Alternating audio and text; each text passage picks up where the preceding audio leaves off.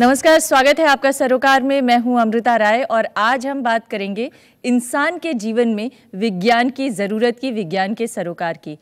विज्ञान के सरोकार इंसान के जीवन में जन्म से लेकर मृत्यु तक बने हुए हैं, लेकिन आखिर क्या वजह है कि हमारे युवाओं की दिलचस्पी विज्ञान में दिन प्रतिदिन घटती जा रही है? तो आज चर्चा इसी विषय पर और इस चर्चा में शामिल होने के लिए हमारे साथ हैं कई खास मेहमान। हमारे साथ हैं professor R Raja Raman emeritus professor of physics हैं जेएनयू में हैं। आपका बहुत बहुत स्वागत है राजा रमन साहब। हमारे साथ निस्केयर में वैज्ञानिक गौहर रज़ा साहब हैं। रज़ा साहब, आपका भी बहुत स्वागत है। हमारे साथ हैं प्रोफेसर सैयदी हसनैन, जो कि प्रधानमंत्री विज्ञान सलाहकार परिषद में सदस्य हैं। हसनैन साहब, आपका स्वागत है। हमारे साथ अमिताभ पांडे हैं, अंतरिक्ष वैज्ञानिक हैं। खगोल शास्त्री भी इनको कह सकते हैं। बहुत बहुत स्वागत है अमिताभ जी आपका। और हमारे साथ हैं दिल्ली साइंस फोरम के सदस्य प्रबीर पुरकायस्त आप सभी का स्वागत है। इस चर्चा को आगे बढ़ाएँ। उससे पहले आइए आपको दिखाते हैं, विज्ञान कांग्रेस में हाल के दिनों में क्या लक्ष्य तय किए गए हैं भारत सरकार की तरफ़ से। नई विज्ञान नीति के लक्ष्य के तहत 2020 तक शीर्ष पाँच वैज्ञानिक राष्ट्रों में शुमार करने का लक्ष्य रखा गया है भारत को। समाज के हर वर्ग में वैज्ञानिक रुझान पैदा करने का लक्ष्य है। विज्ञान के लिए प्रतिभाशाली छात्रों को प्रेरित करने का भी लक्ष्य है और शोध के लिए ग्लोबल ढांचा तैयार करने का लक्ष्य रखा गया है। इसके अलावा, शोध पर मौजूदा खर्च एक फ़ीसदी से बढ़ाकर दो फ़ीसदी करने का भी लक्ष्य सरकार की तरफ़ से रखा गया है नई विज्ञान नीति के तहत। इसके अलावा, शोध कार्य में निजी क्षेत्र की भागीदारी को बढ़ाकर भी इसे आगे ले जाने की तैयारी है। खेती और आम लोगों से जुड़े शोध को बढ़ावा देना भी एक प्रमुख बात कही गई है। क्लाइमेट चेंज के खतरों से बचने के लिए ग्रीन टेक्नोलॉजी को अपनाने की बात कही गई है और पाँच साल में वैज्ञानिकों की संख्या बढ़ाकर छियासठ फ़ीसदी करना ये भी लक्ष्य तय किया गया है। विदेशी वैज्ञानिक संस्थानों के साथ शोध में भागीदारी बढ़ाना, नए खोजों में वैज्ञानिक और उद्योग की भागीदारी, शोध के ज़रिए महिलाओं को आत्मनिर्भर बनाने के उपाय और विज्ञान के ज़रिए आर्थिक विकास को गति देना। ये वो लक्ष्य हैं जो नई विज्ञान नीति के तहत सरकार की तरफ़ से रखे गए हैं। तो आज हम इन्हीं सब मुद्दों पर बातचीत करेंगे, लेकिन एक जो लक्ष्य रखा गया है कि पाँच साल में वैज्ञानिकों की संख्या बढ़ाकर छियासठ फ़ीसदी करना है। रज़ा साहब, आप ही से शुरुआत करना चाहूँगी। ये जो लक्ष्य है वैज्ञानिकों की संख्या बढ़ाना, ये संख्या कैसे बढ़ेगी? जब हम अपने देश में आ, लोगों का रुझान ही नहीं पैदा कर पा रहे हैं उस तरफ़ छात्रों का रुझान ही नहीं पैदा कर पा रहे हैं तो वैज्ञानिक बनेगा कौन? ऐसा नहीं है कि हम रुझान पैदा नहीं कर पा रहे हैं देश के अंदर। ये बात सही है कि अब साइंस में आने वाले बच्चों को साइंस का जो रुझान रहा है देश में उसके उसका कंपटीशन बाकी और चीज़ों से बढ़ गया है। जैसे कॉमर्स में ज़्यादा बच्चे जा रहे हैं या मैनेजमेंट में ज़्यादा बच्चे जा रहे हैं। हम्म, हम्म, हम्म। ये ट्रेंड्स अरेस्ट करने के लिए बहुत सारी नीतियाँ अपनाई गई इस बीच में। शायद उनके परिणाम मिलना शुरू हो जाएँगे अगले पाँच सात साल में। लेकिन ये काफ़ी नहीं है। क्योंकि अगर हमें वैज्ञानिकों की संख्या बढ़ानी है तो फिर सिर्फ़ एजुकेशन सिस्टम में उनको ला करके हम नहीं बढ़ा सकते। हमें ये देखना होगा कि उनका करियर किस तरह से आगे वो उसको देखेंगे किस तरह से वो कंट्रीब्यूट करेंगे किस तरह का माहौल पैदा होगा, बेहतर रिसर्च करने के लिए जो उन्हें अट्रैक्ट कर सके और कौन से इंस्टीट्यूशंस हैं जिनको हम एक्सपैंड करेंगे ताकि उनकी खपत हो सके। हम्म। हसनैन साहब, आप तो एक यूनिवर्सिटी में वाइस चांसलर रहे हैं। इसके अलावा बायो साइंस के क्षेत्र में आपने बहुत सारे काम किए हैं। आप उस प्रधानमंत्री के सलाहकार परिषद में भी हैं, जो नई विज्ञान नीति के लक्ष्य तय कर रही है और देख रही है कि आगे विज्ञान को बढ़ावा कैसे देना है। लेकिन हम देख रहे हैं कि हज़ारों कॉलेजेस, सैकड़ों यूनिवर्सिटीज़ और दर्जनों साइंस के जो रिसर्च सेंटर हैं, उसके होने के बावजूद विज्ञान उस तरह से तरक्की नहीं कर रहा है या उन क्षेत्रों में तरक्की नहीं कर रहा है जहाँ पर वैज्ञानिक पैदा किए जा सके। सिर्फ़ कुछ सीमित क्षेत्रों तक है, जैसे कि बायोटेक्नोलॉजी हो गया, आईटी हो गया या स्पेस रिसर्च हो गया। इसमें तो थोड़ी बहुत प्रगति हो रही है लेकिन बाकी क्षेत्रों में जो चौमुखी विकास होना चाहिए वो नहीं हो पा रहा है। आपने बिल्कुल सही इसका विश्लेषण किया है। मैं इसके रूट कॉज मानता हूँ कि जो हम लोगों ने ये नीति तय की थी आज से कोई 20-25 साल पहले कि साइंस या विज्ञान केवल रिसर्च संस्थानों में ही शोध संस्थानों में ही की जाए। हम्म। ये नीति मेरे हिसाब से उचित नहीं थी। उसकी वजह से यूनिवर्सिटीज़ बिल्कुल डिवोर्स हो गई फ्रॉम फंडिंग फ्रॉम इंफ्रास्ट्रक्चर हमने उनको अलग कर दिया कि तुम्हारा काम है केवल पढ़ाओ। आप देख लीजिए top universities in the world चाहे वो आप एमआईटी लीजिए कैलटेक लीजिए स्टैनफर्ड लीजिए हार्वर्ड लीजिए जर्मनी की यूनिवर्सिटी लीजिए कैम्ब्रिज लीजिए वहाँ क्या होता है कि शोध और पढ़ाई साथ साथ होती है। हमने कहा कि शोध करने के लिए आप चले जाओ रिसर्च इंस्टीट्यूशंस में पढ़ाई आप यूनिवर्सिटीज़ में करो। ये सबसे बड़ी गलती हमारे हिसाब से हुई है। और ये जो आपने लक्ष्य हमारे प्रधानमंत्री ने बताया है कि ट्वेंटी ट्वेंटी तक हम हमें ये सब पूरा करना है हमें अनलेस वी करेक्ट दिस उम्मीद नहीं आती कि हम पूरा कर पाएँगे। हमारा कि हमारे ऊपर सबसे बड़ा जो उद्देश्य ये होना चाहिए कि ये जो डिस्पैरिटी आ रही है यूनिवर्सिटीज़ में और और रिसर्च इंस्टीट्यूशंस में वो ब्रिज करना चाहिए। जी, आप आप रिसर्च इंस्टीट्यूशन और यूनिवर्सिटीज़ के बीच की जो गैप है उसको दूर करने की बात कर। रहे हैं आप यूनिवर्सिटी में पढ़ाते हैं बेसिक साइंसेस के टीचर हैं। आपको किस तरह की मुश्किलें आती हैं इस क्षेत्र को देखते हुए और इस सवाल को देखते हुए कि आखिर क्यों नहीं बेसिक साइंसेज में लोगों का रुझान बढ़ रहा है? क्यों नहीं रिसर्च के क्षेत्र में लोग ज़्यादा आ रहे हैं? क्यों नहीं अपॉर्चुनिटीज़ ज़्यादा खुल रही हैं? फ़र्स्ट ऑफ़ ऑल मैं ये नहीं मानता हूँ कि कम बच्चे रिसर्च में आ रहे हैं। कई लोग जो आजकल के रिसर्च इंस्टीट्यूट्स वगैरह में हैं, जो वैज्ञानिक माने जाते हैं वो एक्चुअली डीप डाउन वैज्ञानिक नहीं है। अक्लमंद हैं वो आईएएस में भी अच्छा कर सकते थे कंपनी में भी अच्छा कर सकते थे। उन ज़मानों में ये नौकरियाँ नहीं मिलती थी। हम्म, हम्म, हम्म। आजकल मिलने लगी हैं तो अक्लमंद लोग कई चीज़ों में जा रहे हैं। वो अच्छी बात है बुरी बात नहीं है। इन सबको साइंस में होने की ज़रूरत नहीं है। अगर हम साइंस में और लोगों को लाना चाहते हैं तो उनको बाकी जगहों से लाना चाहिए। ना खाली अर्बन सेंटर से छोटे छोटे शहरों से गाँव से वहाँ जो अकलमंदी बैठी है साइंटिफिक टेम्पर बैठी है, उसको हम टैप नहीं करें धीरे धीरे करने लगे अभी आजकल। महेंद्र सिंह धोनी जो क्रिकेट खेलने आए हैं, छोटे शहर से, उसी तरह से आपको साइंस में भी छोटे छोटे जगहों से लोगों को पकड़ना चाहिए। वो धीरे से शुरू हो रहा है। उसके बिना नहीं होगा। अर्बन सेंटर से जो आते हैं, वो स्मार्ट होते हैं, अकलमंद होते हैं कई चीज़ें कर सकते हैं। ब्रीफ के साथ में रखना जानते हैं, उसको रखते हो कई चीज़ें कर सकते हैं। मतलब ये लोग उतने साइंटिस्ट हैं बीच बीच में एक दो। जो डेडिकेटेड हों बाकी हम्म, नहीं है। हम्म, हम्म, मैं इनके बारे में कोई बुरी चीज़ नहीं कह रहा। जब मैं कॉलेज में था वो 2000 साल के पहले की बात कर रहा हूँ उन ज़माने में मेरे दोस्त हम लोग आईएएस लिखना चाहते थे। जो आईएएस में नहीं जा पाया उसको किसी ने कहा यही तो चुनौती है यही तो मैंने शुरुआत ही इसीलिए तो इसकी की थी कि जो लोग आईएएस में जाना चाहते हैं जो मैनेजमेंट की डिग्री हासिल करना चाहते हैं जो इंजीनियर भी बन जाते हैं वो भी आगे चलकर मैनेजर बनने की कोशिश कर रहे हैं। आखिर कोई वैज्ञानिक बनने की कोशिश क्यों नहीं कर रहा है प्रवीर जी साहब? देखिए दो चीज़ है इसमें।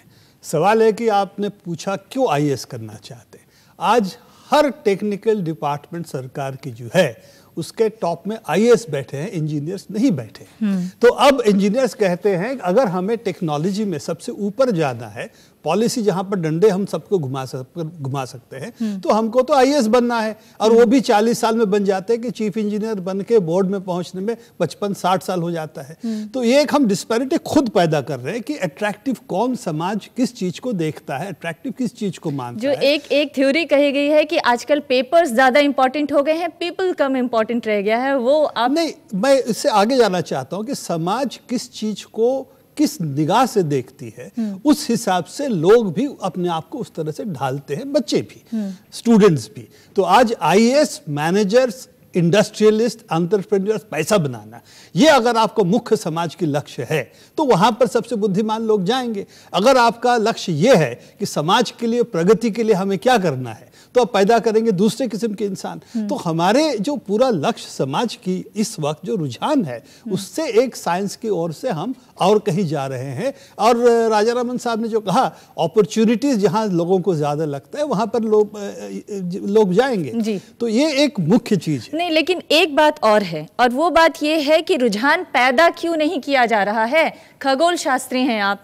ये बताइए कि खगोल शास्त्र शास्त्र में इस बीच हमारे देश में कुछ प्रगति हुई है? तमाम सैटेलाइट्स छोड़े गए हैं चाँद पर और आ, मार्स पर जाने की तैयारी की जा रही है और कुछ हद तक हमें लग रहा है कि हमने कुछ अचीव किया है।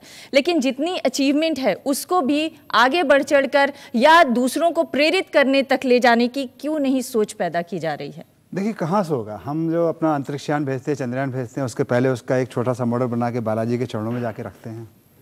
और ये काफ़ी मतलब हास्यास्पद ही नहीं, ये काफ़ी शर्मनाक है कि विज्ञान सिर्फ़ एक कोई टेक्नोलॉजी नहीं है कि जो हमको कुछ मतलब अच्छी फास्ट कार देती है या बढ़िया मोबाइल देती है, नए टाइप का मोबाइल है, जिसमें अब टच से हो रहा है, सोचने से होने लगेगा, सोचने से आप बात करने लगोगे। ये विज्ञान का मकसद नहीं है।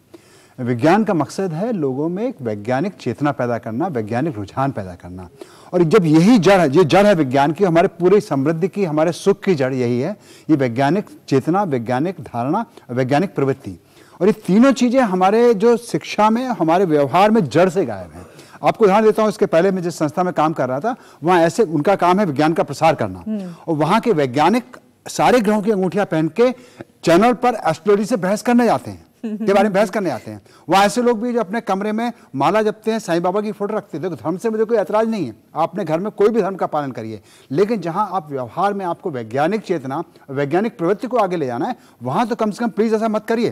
देश को जिस गड्ढे में पड़ा हुआ है, इससे अगर हमें निकालना है तो कृपा करके जो विज्ञान की जड़ है, उसको सींचिए। जी, वैज्ञानिक चेतना पैदा करने में क्यों अड़चन आ रही है? क्या हमारा देश ज़्यादा धर्म भीरू हो चुका है?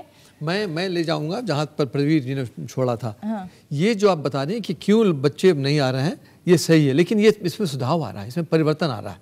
चेंजेस आर टेकिंग प्लेस ये सबसे बड़ी जो परिवर्तन के कैटलिस्ट है that's a new program started by the DST inspire inspire बच्चों को शुरू से ही जिनमें रुझान है साइंस में जो चाहते हैं साइंस में एज ए करियर आप विश्वास नहीं करेंगे हमारे पास ऑन एन एवरेज हफ़्ते में तीन या चार मेल आता है बच्चों का।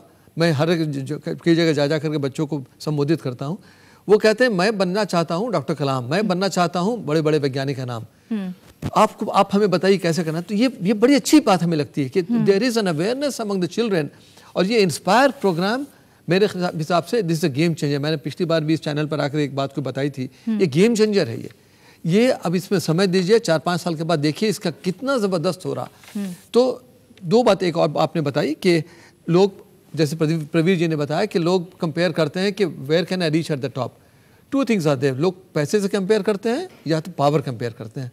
अगर आप पावर कंपेयर करेंगे तो ही इज़ एब्सोल्युटली करेक्ट अब I S is preferred today other than four और फाइव साइंस मिनिस्ट्रीज सब में आई ऑफिसर्स होते हैं। No problem but when it comes to money I think today इन the fifth, fifth pay commission, a scientist can get the same at the end of his career as an, a, a bureaucrat can get. So I think attraction हो रही है बन रही है तो लोगों में लेकिन अट्रैक्शन बनाने की जो प्रक्रिया है वो बहुत धीमी चल रही है और बहुत मुझे लगता है देर से शुरू की गई प्रक्रिया है। एक सवाल और है जो अभी माशेलकर साहब की एक आर्टिकल में मैंने पढ़ा कि 2003 में जयंत नार्लिकर ने एक किताब लिखी जिसका नाम है साइंटिफिक एज और उसमें उन्होंने लिखा कि टॉप टेन अचीवमेंट अगर इंडियन साइंस के क्षेत्र में देखें जो टॉप फाइव 1950 से पहले वाले हैं, उसमें इंडिविजुअल लेवल पे प्रगति हुई। लेकिन जो 1950 के बाद के हैं, वो इंस्टीट्यूशनल लेवल पे, सरकारी फंड के ज़रिए की गई प्रगति है। चाहे उसमें ग्रीन रेवोल्यूशन और दूसरे रेवोल्यूशन की बात करें या खगोल शास्त्र की बात करें। ऐसा क्या है कि हमारे, जो हमने जहाँ से शुरुआत की थी कि वैज्ञानिक क्यों नहीं निकल रहे हैं, क्यों नहीं इंडिपेंडेंट सोच वाले लोग आ रहे हैं, जैसा कि 1950 के पहले के थे, ऐसा क्यों नहीं हो रहा है? मेरा मानना यह है कि ये कहना कि ऐसा नहीं हो रहा है, ये अनसाइंटिफिक होगा। क्योंकि बहुत सारी चीज़ें हो भी रही हैं, लेकिन बहुत सारी चीज़ें नहीं हो रही हैं। दस अचीवमेंट्स हैं, और दस अचीवमेंट्स पे हमें शायद गर्व भी होना चाहिए, क्योंकि हमारे साइंटिस्ट ने उसमें काम करना शुरू किया और कुछ अचीव किया और हम एक लेवल पे दुनिया में पहुँच सके जहाँ अपना सिक्का, उतना बड़ा सिक्का ना चला सकें जितना और जगह चल रहा है। लेकिन एक छोटे सिक्के के साथ हम वहाँ पहुँच गए। हम्म। जो देखने की बात है वो ये है कि इन दोनों चीज़ों को बैलेंस करना बहुत ज़रूरी है। एक तरफ़ साइंस करना बहुत ज़रूरी है। दूसरी तरफ़ साइंस कम्युनिकेशन साइंटिफिक टेम्पर का जो सवाल उठाया अमिताभ में ये दोनों बहुत ज़रूरी हैं।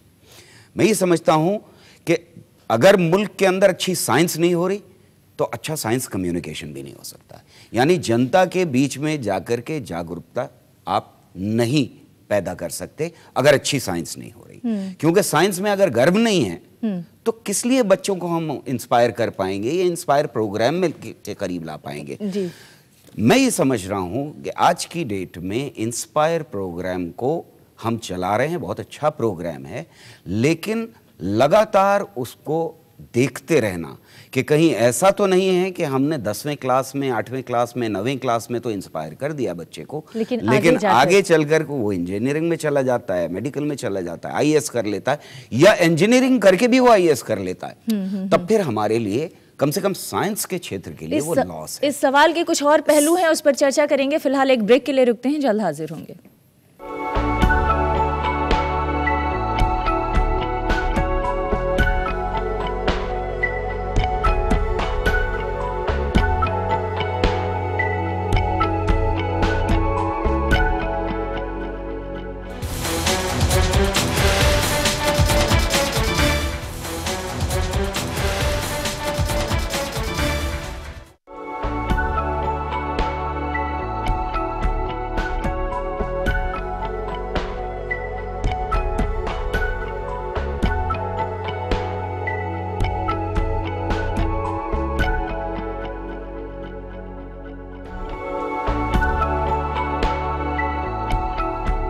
आज हम बात कर रहे हैं इंसान और विज्ञान की और इंसान और विज्ञान के बीच में एक बड़ी चीज़ है वो है वैज्ञानिक चेतना की जिसका सवाल अमिताभ जी आपने उठाया।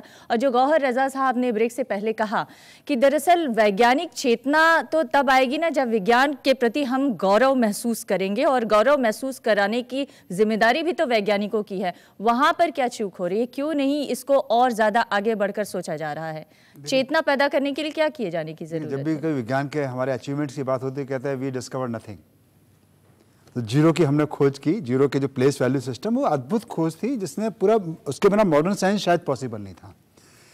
लेकिन बाद में क्या हुआ कहना बड़ा मुश्किल है कि जब यूरोप में रेनासा हो रहा था रिवाइवल हुआ ज्ञान विज्ञान का यहाँ पीछे जाना शुरू कर दिया। हमने बिल्कुल अपने आप को समेट लिया अपने बंद कर लिया देश में और कोई देश से कोई बाहर जाता था लौट के आकर उसको प्रायश्चित करना पड़ता था।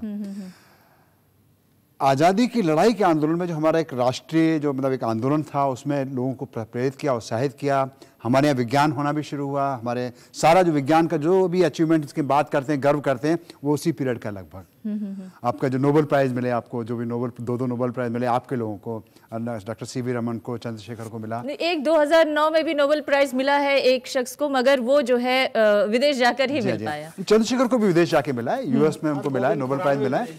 तो हमारा क्या यहाँ पे ऐसी क्या खराबी है जिसके कारण से हमारे छात्र जो छठवीं में किसी मैं विद्यार्थियों से बात करता हूँ मेरे छोटे विद्यार्थियों में खास जिनके बीच में काम करता हूँ। बड़ा उत्साह होता है। हर एक को चाहता है कि मैं चंद्रमा पे जाऊँगा कल्पना चावला बनूँगी या मैं आ, मंगल पे जाएँगे हम लोग अंतरिक्षयान उड़ाएँगे।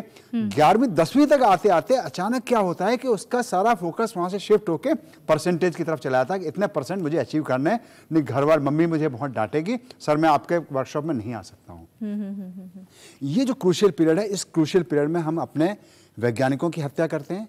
अपने कलाकारों की हत्या करते हैं और सारे मतलब इंसान की हत्या कर देते हैं। और एक हम उसको एक ऐसी मशीन बनाना चाहते हैं जो मल्टीनेशनल्स के लिए पैसा कमाए और हमारे राष्ट्र के लिए चाकर बनाए हमारे सत्ताधारी वर्ग के लिए चाकर बनाए। ये जो खतरनाक जो एक दौर होता है एक हर इंसान के जीवन का इसको कैसे हम खत्म करें? इसमें कैसे हम उनके उसमें वैज्ञानिक पैदा करें जो विज्ञान को उसको प्रोत्साहन दें? जी प्रवीर ये तो बहुत और इश्यूज़ भी इसके साथ जुड़े हुए हैं। मैं उस पर नहीं जाना चाहता। अच्छा विज्ञान हम कैसे करें, जिससे हम युवा वर्ग को प्रेरित कर सकते, छात्रों को प्रेरित कर सकते हैं कि वो वैज्ञानिक बने। तो हमें दो चीज़ समझना पड़ेगा। तो एक है कि द इंस्टीट्यूशन ऑफ़ साइंस आज के तारीख पे जितना डेवलप कर चुका है, उसमें खर्चा प्लान टीम वर्क के बिना अब अच्छा साइंस नहीं कर सकते हैं। और हमारा तो हसनैन साहब ने जो कहा, हमारा जो रिसर्च ऑर्गेनाइजेशंस को अलग करके छोटे छोटे कोठरियों में हमने डाल दिया है, उसके वजह से आज के ज़माने में उस तरह से विज्ञान करना संभव नहीं है। हिग्स बोजॉन में पाँच बिलियन डॉलर खर्च हुआ, चार हज़ार वैज्ञानिक थे तो अब एक डिस्कवरी हुई, जिसलिए डिब्रोगली साहब ने शायद शायद कहा था कि ट्वेंटीज़ और थर्टीज़ में सेकेंड रेस फिजिसिस्ट भी फ़र्स्ट एड फिजिक्स कर सकता था, पर आज के ज़माने में in the by the time it is 60s even first rate physics second rate physics नहीं कर सकता बिना टीम वर्क तो हमारा वहाँ पर एक कमज़ोरी है।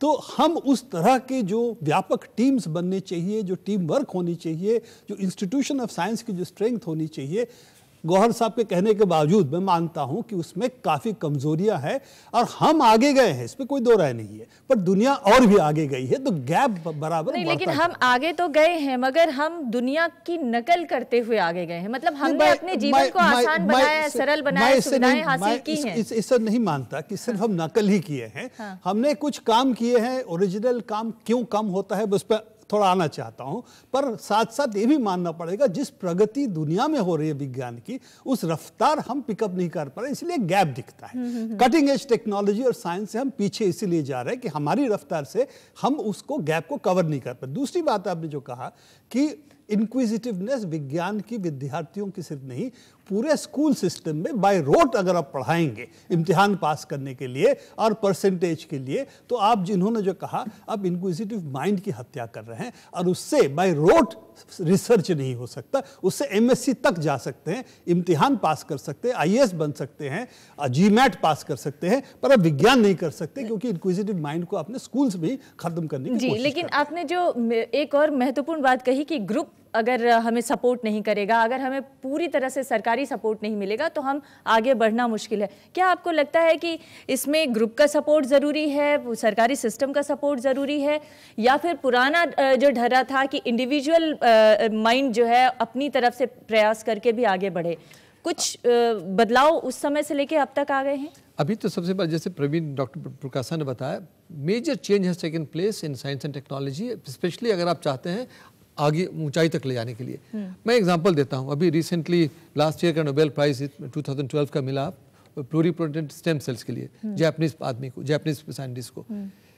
आपको विश्वास नहीं होगा इनके साथ कोई 400 लोग काम करते हैं।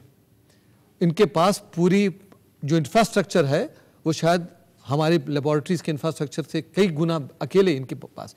कहने का मतलब ये है कि हमारे यहाँ जो साइंस में एटलीस्ट बायोलॉजिकल साइंसेज में जो प्रोग्रेस हो रही है एक आदमी के काम से नहीं हो रही है। एक टीम वर्क होता है और टीम वर्क के साथ साथ कंसंट्रेटेड फोकस भी होता है इंफ्रास्ट्रक्चर की एक्सपेंडिचर की। हम क्या करते हैं? किसी को हर हमारे यहाँ प्रॉब्लम यह है साइंस में कि हम छोटे छोटे छोटे छोटे काफ़ी पौधे उभर के आ रहे हैं। लेकिन वो पौधा ऊंचाई तक जाए उसके पहले उसको हम किल कर देते हैं फिर दूसरा पौधा निकाल देते हैं। ये सबसे बड़ी प्रॉब्लम हमारे यहाँ है। We are not focusing on a major theme and investing the kind of investment required for science and technology today. Hmm. Today, SNT is more technology driven than it was in the case in the period of तो Raman. मतलब ये आप कह रहे हैं कि access की कमी नहीं है क्वालिटी की भी शायद कमी नहीं है लेकिन सवाल ये है कि रेलिवेंसी कैसे तय हो टारगेट कैसे तय हो टार, टारगेट तय करके हमें इसको आगे उसमें टीम बनाने की सब critical critical research research. We- छोटा छोटा पैसा बड़े बड़े प्रोजेक्ट्स के लिए आप देंगे तो बड़े बड़े प्रोजेक्ट आगे नहीं नहीं बढ़ेंगे। तो व्हाट आई आपको सब क्रिटिकल रिसर्च की हम फंडिंग लोग कर रहे हैं। हम लोग विश्वास करते हैं कि उनको भी फंड करो उनको भी फंड करो उनको भी फंड करो। खुश करो। Why don't we put together a group which will now have maybe 100 200 people on one theme and i can guarantee you nobel prize would be coming but what do we do we say आप भी थोड़ा काम करो आपको भी कुछ पैसे देते हैं i think that's a subcritical funding and and not a, that's not the recipe for success the long term success ये इशू रिजॉल्व हो गया था सेकेंड वर्ल्ड वॉर के बाद कि अब स्मॉल साइंस नहीं हो सकती है अब बिग साइंस होनी है मैनहेटन प्रोजेक्ट ने दुनिया को ये दिखा दिया था कि लार्ज फंडिंग से ही साइंटिस्ट अपना काम एक लक्ष्य की तरफ़ आगे बढ़ सकते हैं लेकिन ऐसा नहीं है कि हमने हिंदुस्तान में इसको नहीं सीखा। जिस तरह से भाभा ने चीज़ों को देखना शुरू किया, उसने असर डाला या बोस ने असर डाला खुद एस एस भटनागर का उसमें बड़ा कंट्रीब्यूशन रहा कि हम बिग साइंस करेंगे। लेकिन बिग साइंस में डेमोक्रेटाइजेशन जो होना चाहिए था, जो साइंस के लिए एसेंशियल है, ज़रूरी है। खुद स्ट्रक्चर का डेमोक्रेटाइजेशन लोगों के बीच में साइंटिस्ट के बीच में एक दूसरे को क्रिटिसाइज करने की हिम्मत होना इनवर्डली देख करके एसेस करना कि हमारी क्या स्ट्रेंथ्स हैं क्या वीकनेसेस हैं उनको किस तरह से हम पूरा कर सकते हैं। इस काम में मुझे लगता है कि हिंदुस्तान में हम बहुत पीछे रहे और बहुत कमियाँ रही हैं। इसलिए हम अपनी गलतियों से नहीं सीखे। हमने दस चीज़ों को तो कह दिया कि भाई ये बड़ी चीज़ें हैं इनमें हमने बहुत कुछ अचीव किया। लेकिन जहाँ नहीं हो पाया वो भी एक बड़ा एरिया था जिससे हम सीख सकते थे। उससे सीखने की कोशिश हमारे यहाँ सीखने की एक बड़ी प्रक्रिया यूनिवर्सिटी लेवल पर चलती है लेकिन यूनिवर्सिटी लेवल पर क्या वो सीखने की प्रक्रिया उतनी ईमानदारी से चलाई जा रही है जितनी ईमानदारी की दरकार है जित, जितनी ईमानदारी की बात गौहर साहब कह रहे हैं? वो उसके बारे में कहूँगा सब लेकिन कई चीज़ें आपने डिस्कस किया अभी एक दो चीज़ों के बारे में कुछ कहना चाहता हूँ। एक तो ये नोबेल प्राइज़ की बात। हमारे देश में नोबेल प्राइज़ के ऊपर ये जो पागलपना है कि नोबेल प्राइज़ क्यों नहीं मिला बहुत गलत है ये। मैं आपको एक एनालॉजी देता हूँ। हमारे देश के लिए इतना ज़रूरी नहीं है कि दो लोग ओलंपिक मेडल मिले लेके आए। उनको तो कंग्रेचुलेट करना चाहिए। हम उससे बेटर है कि कितने बच्चों को खाना मिल रहा है अंडर नरिश बचने कितने हेल्थ कितना अच्छा है स्वास्थ्य कितना अच्छा है that is more important than कि आपको मेडल मिले या नहीं। उसी तरह साइंस में भी एक दो नोबेल प्राइज से हमारी साइंस ऊपर नहीं जाएगी। वो लोग ऊपर जाएँगे लेकिन साइंस नहीं जाएगी। साइंस को ऊपर कराने के लिए ग्राउंड लेवल में ऊपर करना चाहिए। अच्छा एक और चीज़ मैं ये चीज़ें कह रहा हूँ पचास साल रिसर्च करने के बाद आज भी कर रहा हूँ। 1962 में मैंने पीएचडी ली थी पचास साल पहले। तब से आज तक कर रहा हूँ? तो ये एक्सपीरियंस से कह रहा हूँ आपको कि अमेरिका यूरोप में जब साइंस शुरू हुई थी, लोगों की जो रिक्वायरमेंट थी, उसको फिल करने के लिए साइंस शुरू हुई। हम इस चर्चा को आगे बढ़ाएँगे कि आखिर इस वक्त में, इस जमाने में हमारी रिक्वायरमेंट क्या है और किस दिशा में सबसे ज़्यादा ज़रूरत है साइंस को आगे बढ़ाने की। बने रहिएगा आप सभी हमारे साथ, एक छोटे से ब्रेक के लिए रुकते हैं, फिर हाजिर होंगे इसी चर्चा के साथ।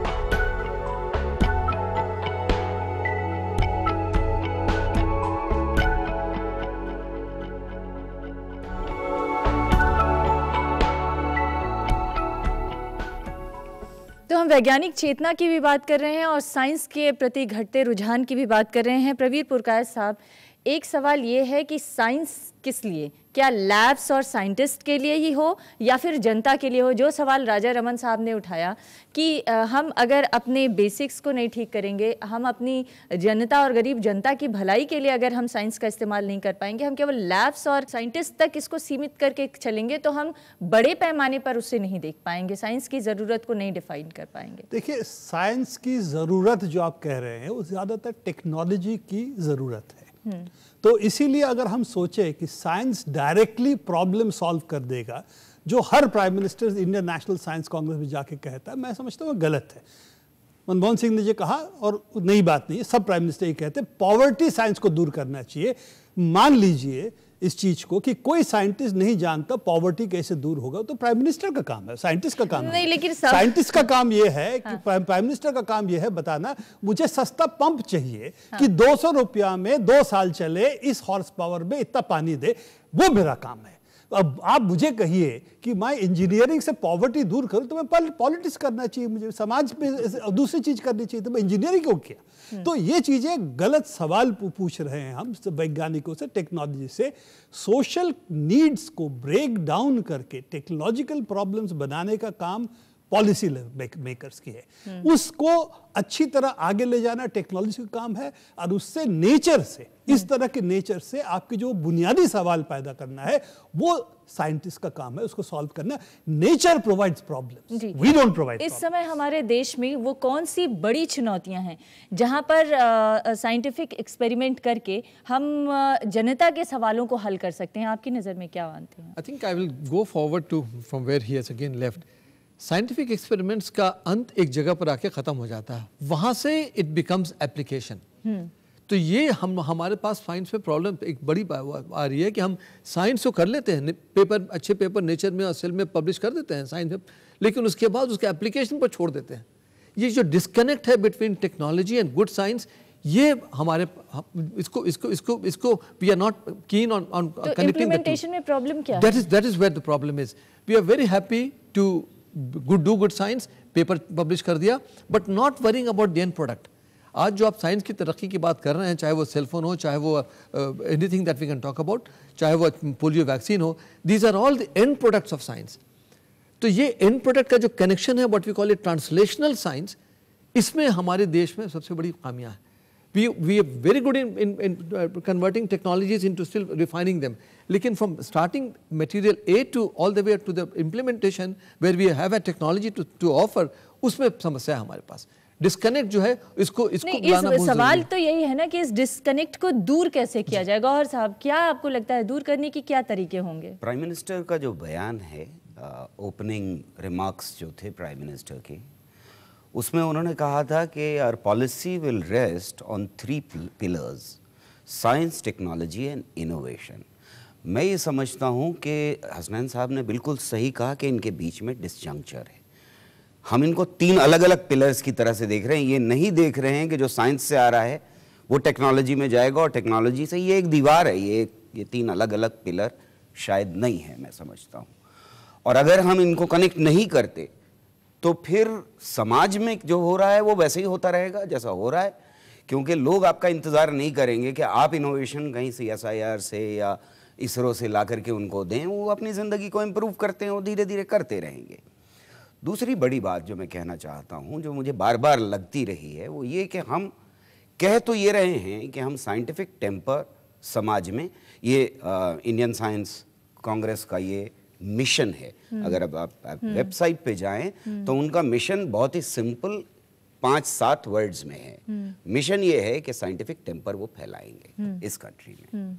साइंटिफिक टेम्पर फैलाने के मिशन को इस बार रीइटरेट किया गया है। दूसरा पॉइंट जो था आपने अभी जो पॉलिसी में दिखाया है जो इसका बहुत वेलकम करना चाहिए हमें। और ये लगातार चल रहा है नेहरू पंडित जवाहरलाल नेहरू के ज़माने से चल रहा है। लेकिन अगर हम प्रैक्टिस में देखें तो क्या हो रहा है? हिंदुस्तान के अंदर पचासियों चैनल हैं जो रिलीजियस हैं।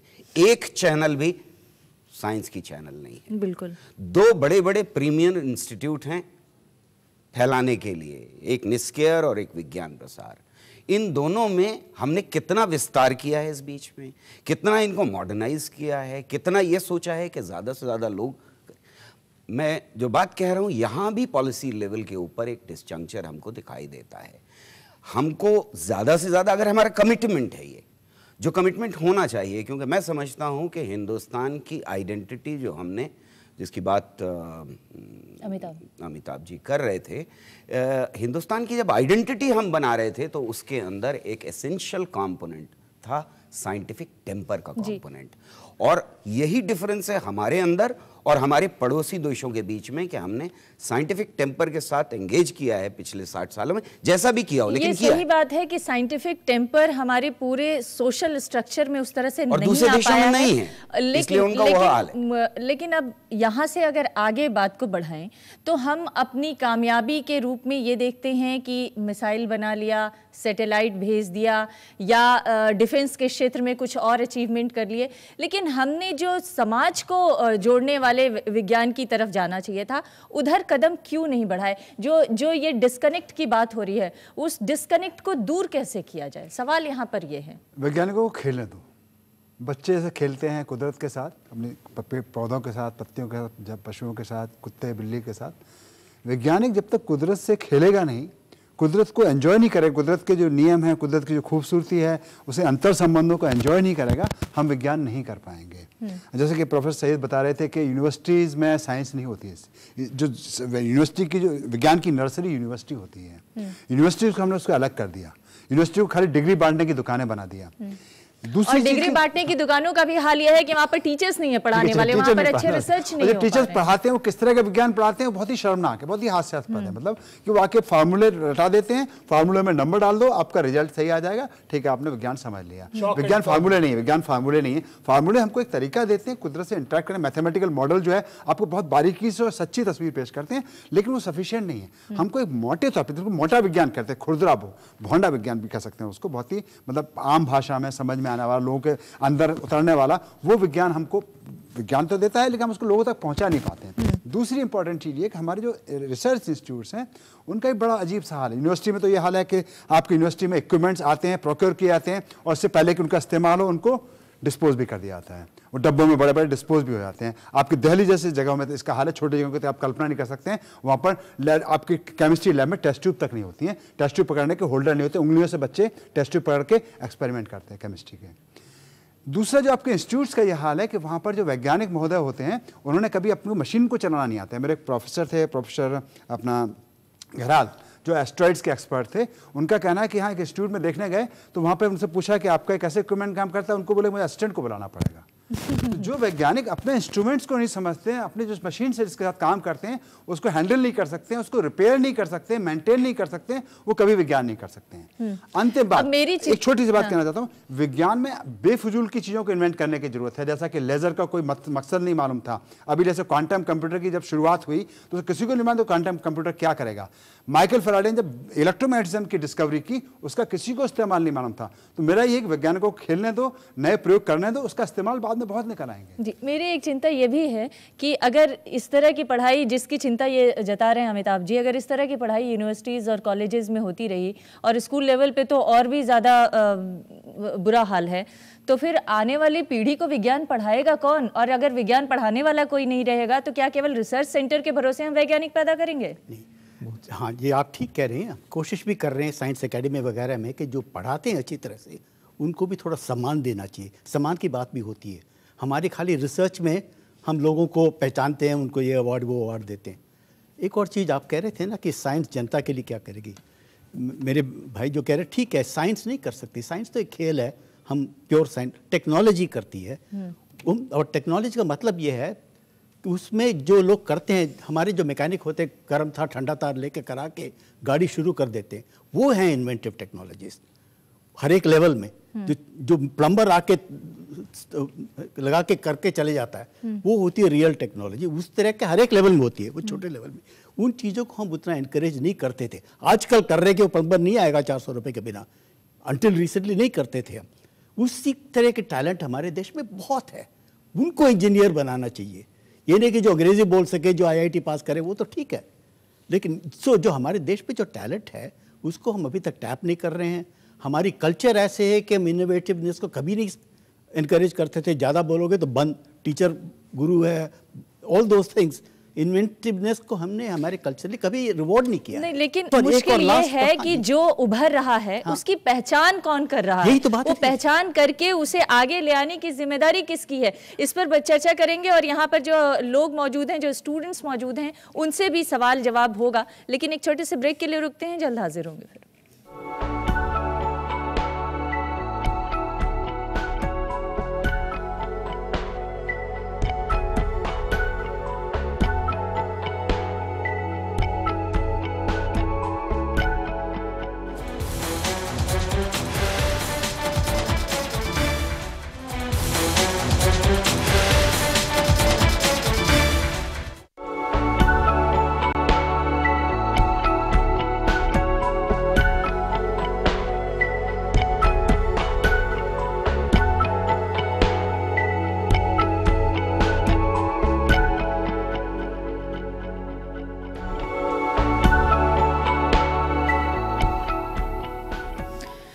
बात कर रहे हैं साइंस की और भारत का साइंस के क्षेत्र में एक ग्लोरियस ट्रेडिशन भी रहा है, लेकिन वो ट्रेडिशन आखिर क्यों मिटता चला गया और आज स्थिति ये क्यों हो गई है कि लोगों का रुझान साइंस की तरफ़ कम देखने को मिल रहा है? कम से कम ये तो ज़रूर ही कहा जा सकता है कि जो युवा हैं, उनका रुझान कम देखने को मिल रहा है। वजह क्या है? और साइंस के साथ ये जो डिस्कनेक्ट पैदा हो रहा है, इसे कैसे दूर किया जा सकता है? प्रधानमंत्री ने जो लक्ष्य रखा है, दो हज़ार बीस तक दुनिया के पाँच अग्रणी देशों में भारत को शुमार करने का, उस लक्ष्य को कैसे पूरा किया जा सकता है, इस पर आज हम चर्चा कर रहे हैं और हमारे साथ, यहाँ पर कई अलग अलग इंस्टीट्यूट में पढ़ने वाले छात्र छात्राएँ मौजूद हैं।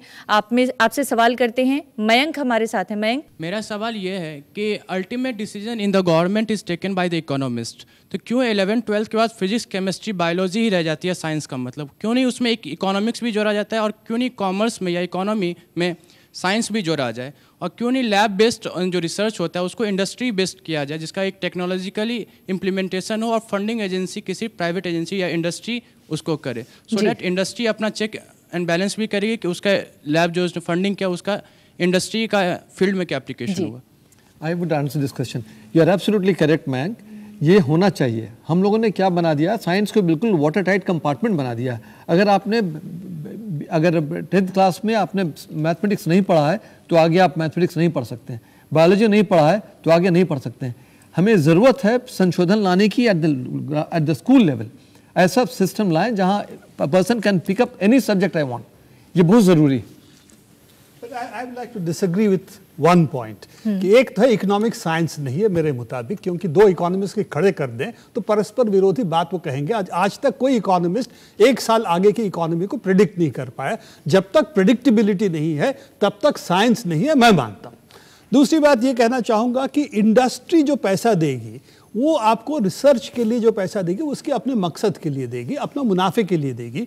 और साइंस एज पब्लिक गुड्स जिसने इन्होंने कहा कि फैराडे से लेकर आज की बड़े बड़े साइंटिस्ट है, हिग्स बोसन से। क्या फ़ायदा होने वाला है दुनिया को? किसी को नहीं मालूम। शायद कोई भी फ़ायदा ना हो।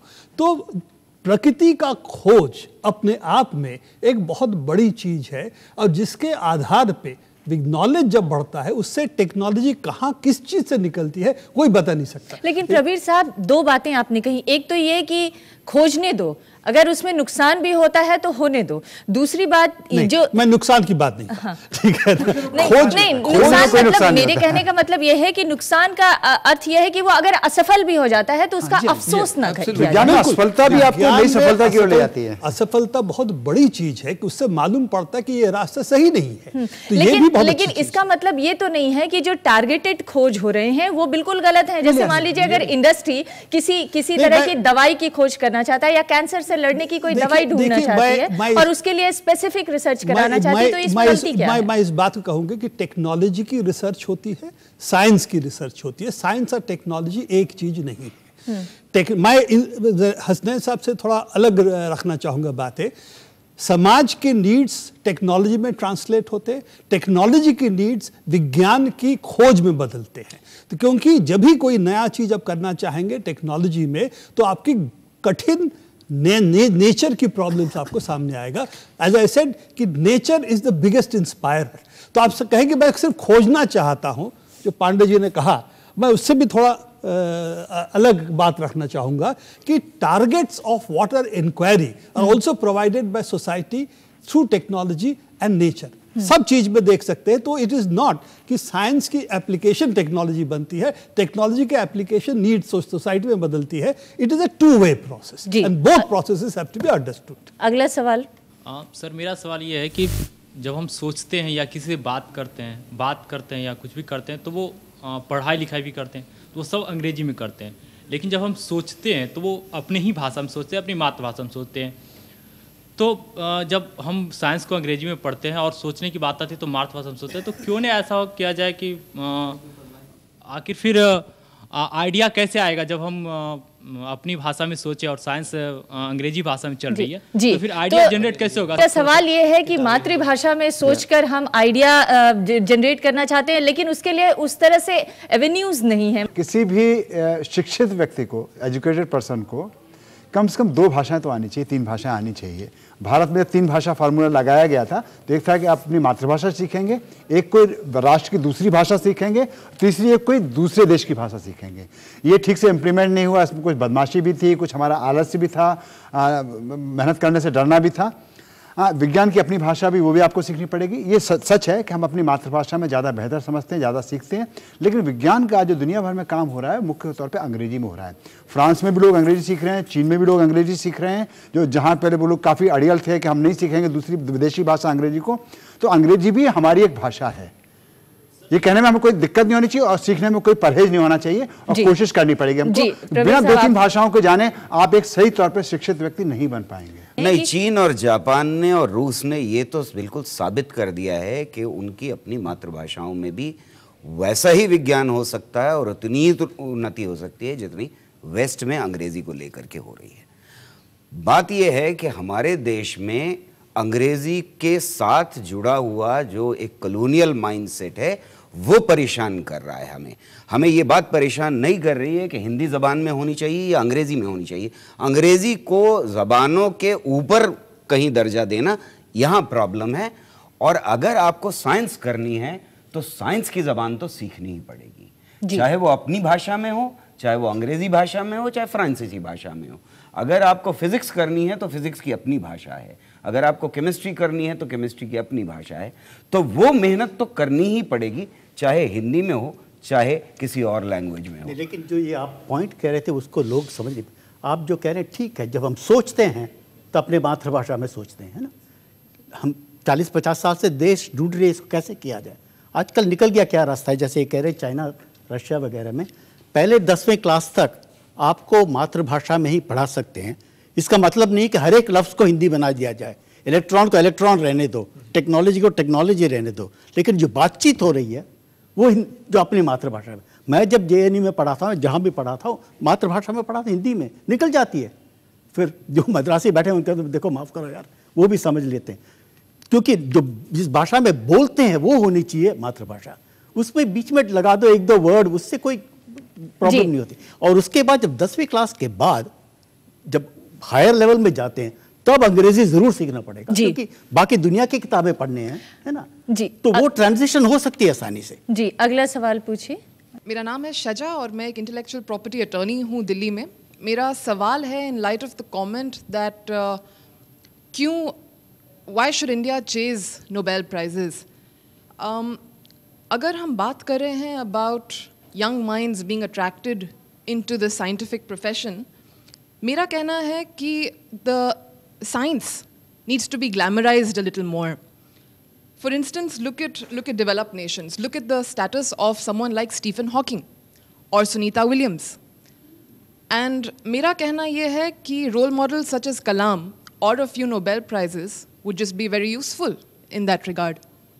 Can I respond to that? Please, yeah. yeah. please. Well, you know, I really don't think so. I've had the great good fortune to meet some of the greatest physicists that ever were there. And none of them was inspired by the Nobel Prize. None of them ever wanted in the early days. When they finally did some work, they did. They were inspired by nature which they saw, where they found something intriguing, they couldn't understand it.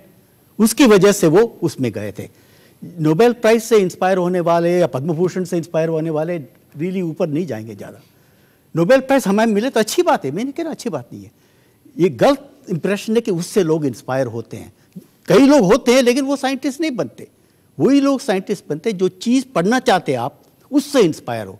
Ramanujan को किसने inspire किया? कोई Nobel prize ने नहीं किया। CV Raman को किसने inspire किया? नोबेल प्राइज नहीं लेकिन वो नहीं। दौर अलग था। अब हम इक्कीसवीं सदी में जी रहे जी रहे हैं और मुझे ये जानना है कि क्या क्या क्या ग्लैमराइज करके साइंस को ग्लैमराइज करके लोगों का अट्रैक्शन उधर किया जा सकता है वेन की के साथ मेरा इंटरेक्शन हुआ। की ग्लैमराइजेशन अलग बात वेंकी के साथ मेरा जो इंटरेक्शन हुआ उसमें वो बहुत झिला रहे थे हाँ। और बहुत गुस्सा हो रहे थे और उन्होंने कई बार रिपीट किया कि हम कोई फ़िल्म स्टार नहीं है। आप इस तरह से 2009 में जिन्होंने नोबेल हासिल किया भारतीय। वेंकी रामाकृष्णन की बात कर रहा हूँ मैं।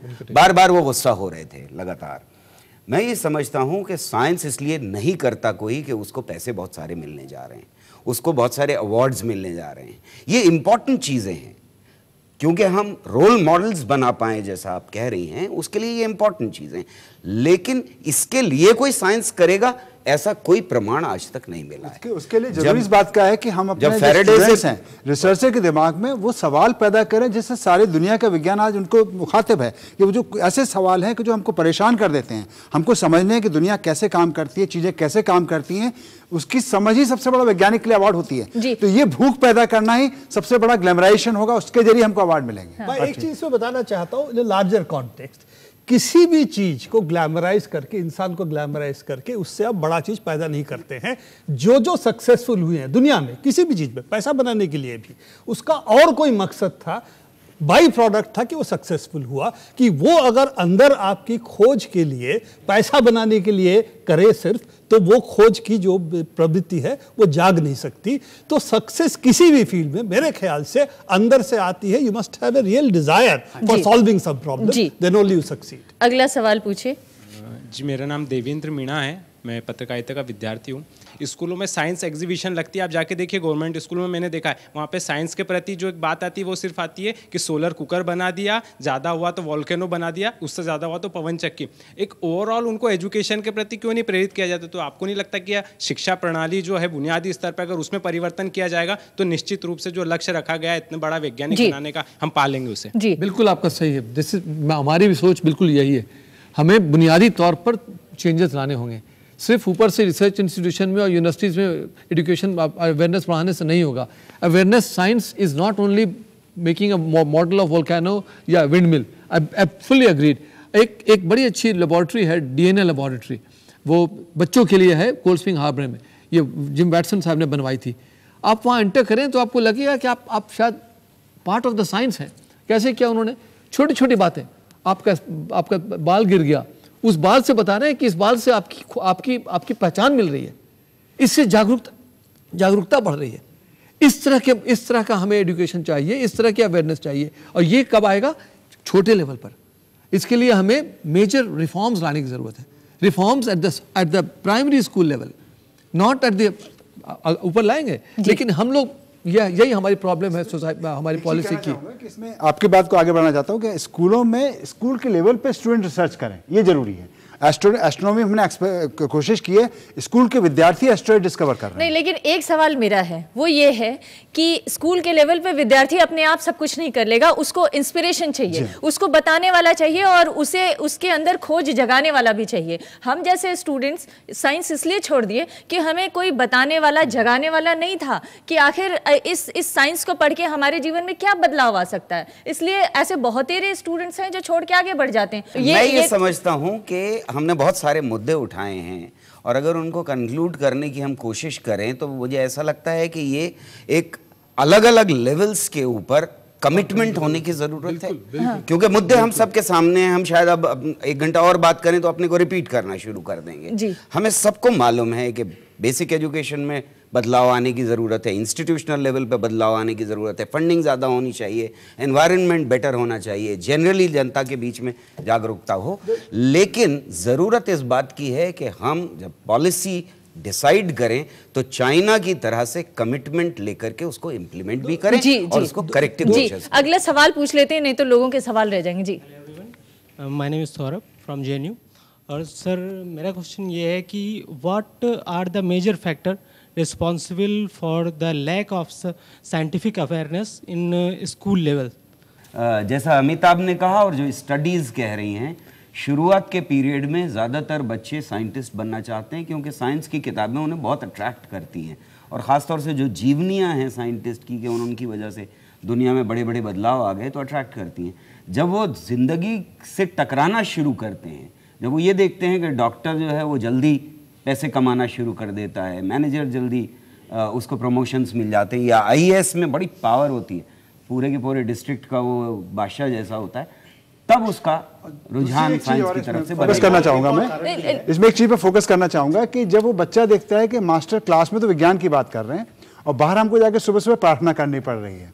या विज्ञान कांग्रेस में भी आप सरस्वती पूजा जो करवाने लगते हैं तो वो दिक्कत है कि उसके दिमाग की जो एक साइंटिफिक टेम्पर को काटने वाली चीज़ अगला सवाल ले लेते हैं। जी अगला सवाल। Chaman from edit work I think we are celebrating the hundred anniversary of Indian science congress and still we are back in the technology recently S R M has launch nano satellite then my question is that why not why not the other university in does them self in such kind और institutions ने भी satellite के ऊपर काम किया है कर रहे हैं। कानपुर आईआईटी ने एक्सपेरिमेंट किया है और वो बहुत एडवांस चीज़ भेज रहे हैं। सैटेलाइट बना- बनाना आज की तारीख में अ, बहुत ही सेचूरेटेड टेक्नोलॉजी में आता है जिसमें पूरा हो चुका है। सैटेलाइट बनाना कोई सैटेलाइट कैसा बना रहे हैं? कौन सा सैटेलाइट बना रहे हैं? उसके अंदर क्या चीज़ें मौजूद हैं? और उसको भेजना आज भी प्रॉब्लम काफ़ी सारे इसमें अवेन्यूज इन पे काम किया सकता है मैं बताना चाहूँगा कि जैसे कि चंद्रमा पे चंद्रयान जाएगा तो चंद्र बग्घी के लिए हर साल कंपटीशन होता है कि चंद्रमा पे चलने वाला रोवर कैसा होगा वो पैडल से चलेगा रिश्ते की तरह से। या हम जो ट्रेडिशनल लॉन्च है जो केमिकल रॉकेट्स लॉन्च करते हैं स्पेस लिफ्ट कैसे बनाई जाए इसके ऊपर काम हो रहा है। तो उसमें हमारे स्कूल के लेवल पर स्टूडेंट्स को इन्वॉल्व करना पड़ता मेरा जहाँ तक मानना है कि बहुत जो पढ़े लिखे हैं जो ज़्यादा जानते हैं वो आई एस बन जाते हैं। पर बहुत जो है जिन्हें आता है पर वो अनएम्प्लॉयड रह, रह जाते हैं। तो उन अनएम्प्लॉयड को साइंटिस्ट बनाने की तरफ़ क्यों नहीं सरकार कुछ काम कर रही है? जी एक बहुत अच्छा सवाल है। प्रवीर साहब आपका जवाब इस देना पे एक बहुत बुनियादी चीज़ है कि साइंस पे जब जाएँगे, नौकरी की श्योरिटी नहीं है, क्योंकि अब साइंटिस्ट बनेंगे कोई ज़रूरी नहीं है। अब साइंस टीचर भी बन सकते हैं आप कॉलेज टीचर भी, स्कूल टीचर भी बन सकते हैं। तो हमारे यहाँ एक बहुत बड़ी हायरार्की है, साइंटिस्ट बहुत बड़ी हस्ती है, स्कूल टीचर नीचे के स्तर में है, हम उसको इज़्ज़त नहीं देते। और अगर आपकी सवाल, हम पूछ, पूछले सब पिछले सवाल जो आपका था कि इंस्पायर कौन करेगा? टीचर। अगर हम टीचर के स्कूल में इज़्ज़त नहीं करेंगे तो दुनिया, आपकी समाज के अंदर विज्ञान की प्रतिष्ठा नहीं बन सकती, पढ़ाई की प्रतिष्ठा नहीं बन सकती। तब जो गौहर साहब कह रहे हैं, बिल्कुल वही होगा कि जिसमें नौकरी मिलेगी, उसमें एक स्थिरता है कि श्योरिटी है कि मैं इंजीनियर बनूँगा मैं डॉक्टर बनूँगा तो मैं पैसा तो अपना कमा लूँगा। ये एक परिस्थिति बन सकती है। एक आखिरी सवाल इस समय देश में या 21वीं सदी की तरफ़ जा रहे भारत के सामने जो बड़ी चुनौतियाँ हैं वो हैं खाद्यान्न की। हमारे सामने जो बड़ी चुनौतियाँ हैं वो क्लाइमेट चेंज को लेकर हैं या अपने अ, समाज के विकास को लेकर है उसके वैज्ञानिक चेतना बढ़ाने को लेकर है। इन सब के लिए क्या किए जाने की ज़रूरत है विज्ञान की तरफ़ से और वैज्ञानिकों की तरफ़ से? मेरे हिसाब से जो तीनों आपने जो आइटम्स आइडेंटिफाई किए हैं they are very valuable items इसकी ज़रूरत है करने की। लेकिन हमें डर इस बात का है कि हम फिर पीस मील लेवल पर, छोटे लेवल पर, छोटे पैमाने पर दो चार करोड़ पाँच करोड़ की प्रोजेक्ट दे करके हम सोचेंगे कि एंड प्रोडक्ट पहुँच जाए। ये अगर गलती करेंगे तो we will not be able to address a problem we need to go whole hog we need to put all the efforts all the money to really deliver something ये चुनौतियाँ तो हमने आइडेंटिफाई कर ली हैं उनका समाधान करने के लिए मुझे हम हम लोगों को जो जिस हिसाब से तैयारी करनी चाहिए वो शायद हम अभी भी नहीं कर पाएँगे। इसकी वजह यही है। Identify prioritize critical problem put sufficient funds build teams across the country to solve specific problem of science तब जाके आप डिलीवरी की बात सोच 50 परसेंट चांस होगी। उससे भी कोई गारंटी नहीं। साइंस को हमको इन्वेस्टमेंट की तरह लेना होगा। साइंस ऐसा इन्वेस्टमेंट है जो कि अरबों खरबों को ना आपको आके वापस मिलेगा। जी। बिल्कुल जी उसकी उसके उसके अ, मतलब हम ये कह सकते हैं कि साइंस में जितना इन्वेस्ट करना है करें चाहे वो ह्यूमन रिसोर्सेज का इन्वेस्टमेंट हो चाहे पैसे का इन्वेस्टमेंट हो चाहे वक्त का इन्वेस्टमेंट हो क्योंकि तुरंत कोई नतीजा निकलने की उम्मीद यहाँ पर नहीं है और असफलता से बिल्कुल डरने की ज़रूरत नहीं है। जब तक हम इस चीज़ को अपने अंदर नहीं समाहित करेंगे नहीं सोचेंगे तब तक शायद हम साइंस के क्षेत्र में आगे नहीं बढ़ पाएँगे। बहुत बहुत धन्यवाद। Indian mind is a best mind we must invest on Indian mind ji. Indian नमस्कार।